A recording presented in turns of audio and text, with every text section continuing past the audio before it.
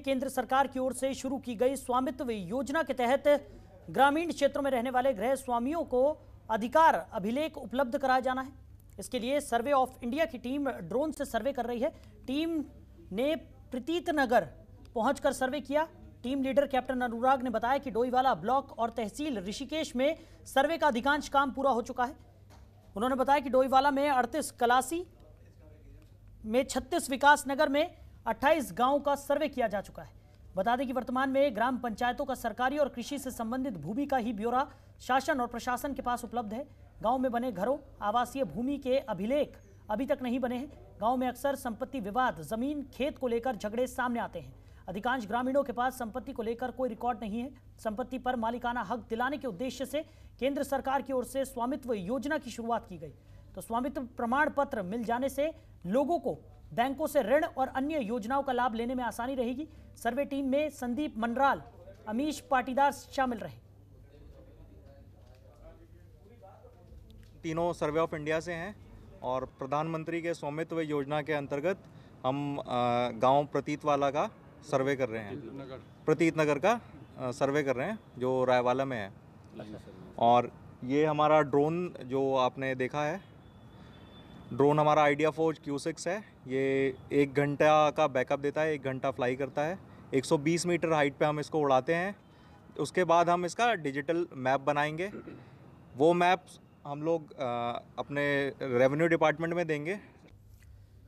वहीं चमोली गैरसैंड में आगामी एक मार्च से शुरू होने वाले विधानसभा बजट सत्र को लेकर जिला प्रशासन ने तैयारियाँ शुरू कर दी हैं। डीएम चमोली, स्वाति एस भदौरिया ने ज़िले के शीर्ष अधिकारियों की बैठक लेते हुए मौजूद व्यवस्थाओं की समीक्षा की। उन्होंने सत्र की कई व्यवस्थाओं के लिए नोडल अधिकारी नियुक्त किए और उन्हें सत्र से पहले सभी व्यवस्थाओं को चाक चौबंद करने के निर्देश दिए। डीएम ने नोडल अधिकारियों को विधानसभा बजट सत्र में हिस्सा लेने वाले मंत्रियों और विधायकों, आवास आरक्षित और आवंटित करने के साथ ही अन्य सभी व्यवस्थाओं को सुनिश्चित करने के निर्देश भी दिए। एसडीएम को गैरसैंड आदि बद्री कंडप्रयाग, गौचर सहित जनपद की सीमा से जुड़े अन्य जिलों में स्थित गेस्ट हाउस और होटलों में स्थित आवासों को भी अधिग्रहित करने को कहा गया। साथ ही डीएम ने इस दौरान सभी सुरक्षा व्यवस्थाओं की भी समीक्षा की। डीएम ने सभी पुलिस अफसरों को संवेदनशील जगहों पर सुरक्षा बरतने के आदेश भी दिए।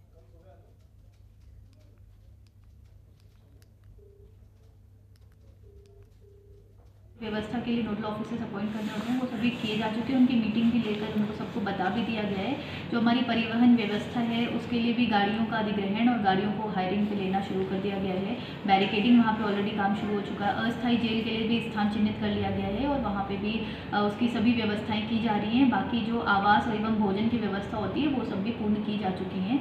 और कनेक्टिविटी जैसे वहाँ पे थोड़े से इश्यूज़ रहते हैं तो इस बार हमारी जियो से भी बात हुई है और जियो भी वहाँ पे दो टावर लगवा रहे हैं और उनको इनफैक्ट हम लोगों ने बोला है कैनपी भी लगा दी, जिससे अगर किसी अन्य का सिग्नल नहीं भी आता है तो तत्काल कोई जियो का सिम लेकर वहाँ पे अपना संचार एटलीस्ट बाधित ना पाए तो वहीं काशीपुर मीडिया सेंटर के समस्त सदस्यों ने सीपीयू और पुलिस के साथ मिलकर नगर क्षेत्र में एक जागरूकता रैली निकाली, जिसमें हाथों में तख्तियाँ लेकर लोगों को यातायात नियमों के प्रति जागरूक किया गया।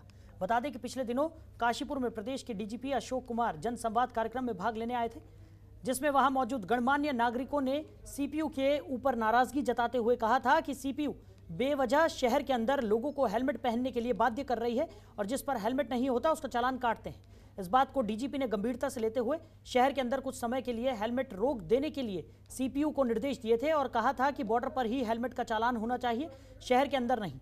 इस फरमान से लोगों ने राहत की सांस ली और हेलमेट शहर के अंदर कुछ लोगों ने लगाना बंद कर दिया, जिससे यहाँ पर पिछले लगभग पंद्रह दिनों में सड़क हादसों में लगभग आधा दर्जन से ज़्यादा लोग अपनी जान गंवा चुके हैं। इसी को लेकर आज इस रैली का आयोजन किया गया।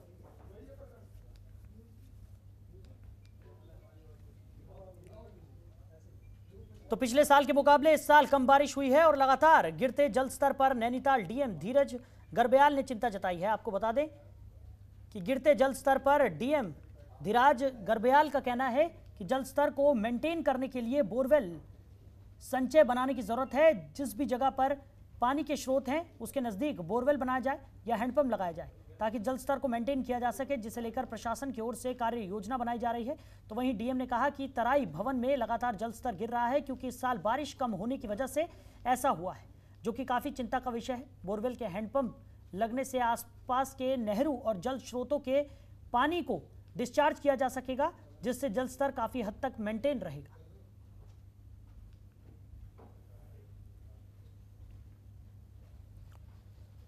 वहीं रायवाला थाने का निरीक्षण करने पहुँचे एसपी देहात। स्वतंत्र कुमार सिंह ने यहाँ व्यवस्थाओं को, का जायजा लिया। इस दौरान उन्हें सभी व्यवस्थाएँ दुरुस्त मिली।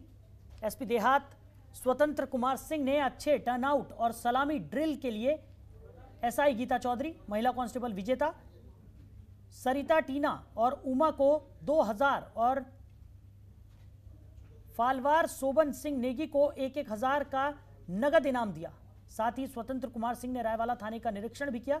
सबसे पहले एसआई गीता चौधरी, महिला कांस्टेबल विजेता सरिता, टीना और उमा ने पुलिस अधीक्षक ग्रामीण को शस्त्र सलामी दी, जिसके बाद उन्होंने यहाँ महिला हेल्प डेस्क का रिबन काटकर उद्घाटन किया। इस दौरान पुलिस कर्मियों की वेपन हैंडलिंग भी देखी गई। साथ ही बैरिक, कंप्यूटर कक्ष, मेस और साफ़ सफ़ाई की व्यवस्था की भी जाँच की गई। तो वहीं उन्होंने पुलिस के आला अफसरों को थाने में आने वाले हर व्यक्ति की समस्या का हल थाने स्तर पर ही करने के आदेश दिए। पुलिस अधीक्षक ग्रामीण स्वतंत्र कुमार सिंह ने बताया निरीक्षण में वो थाने की व्यवस्थाओं से काफ़ी संतुष्ट हुए हैं। देखिए, आज थाने का अर्धवार्षिक निरीक्षण किया गया। यहाँ पे लगभग सारी चीज़ें दुरुस्त मुझे मिली हैं। साफ़ सफ़ाई भी अच्छी है और संतोषजनक है। यहाँ पे जो टीम वर्क कर रही है, वो भी संतोषजनक है। इनको कुछ निर्देश भी दिए गए हैं, जो माल का निस्तारण है। उसके बारे में दिया गया कि जो भी पुराने माल हैं, उसको माननीय न्यायालय से सामंजस्य स्थापित करते हुए उसका निस्तारण सुनिश्चित करें। वहीं टिहरी ज़िले में अपराधों पर नकेल कसने और जनता के साथ सशक्त संवाद स्थापित करने के लिए एसएसपी ने हेलो टीरी मैसेंजर प्लेटफॉर्म के तहत एक मोबाइल नंबर जारी किया है, जिस पर सभी तरह के अपराधों, शिकायतों की सूचनाएँ दी जा सकेंगी। वहीं एसएसपी तृप्ति भट्ट ने कहा कि जनपद टिहरी पुलिस की ओर से पुलिस व्यवस्थाओं में जन सहयोग बढ़ाने की कोशिश की जा रही है। इस नंबर पर व्हाट्सएप टेलीग्राम सिग्नल जैसे मैसेजिंग ऐप संचालित किए जा रहे हैं, जिस पर मिली शिकायतों, सूचनाओं की हर समय मॉनिटरिंग की जाएगी। साथ ही, एसएसपी ने बताया कि इस मैसेजिंग सुविधा से जहाँ विभिन्न आपराधिक गतिविधियों से संबंधित सूचनाओं से पुलिस को अवगत कराया जा सकता है, वहीं पुलिस यातायात, नशे की तस्करी, अवैध शराब की बिक्री, महिलाओं, बच्चियों के साथ होने वाली घटनाओं की भी सूचना दी जा सकती है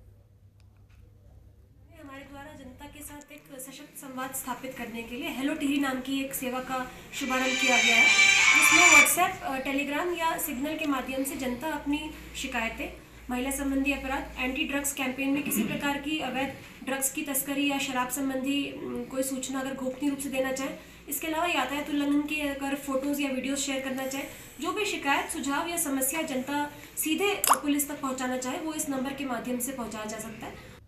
तो फ़िलहाल इस बुलेटिन में मेरे साथ इतना ही। देश दुनिया की तमाम खबरों के लिए आप जुड़े रहिए जनतंत्र टीवी के साथ। नमस्कार। खबरों के निष्पक्ष विश्लेषण के लिए सब्सक्राइब करें Jantantra TV and press the bell icon. Never miss any update.